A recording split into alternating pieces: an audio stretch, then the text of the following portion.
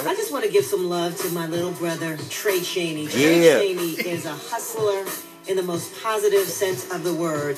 This guy can't stop, won't stop. A lot of ways. Uh, he's been promoting, pushing this project, the song dedicated. Father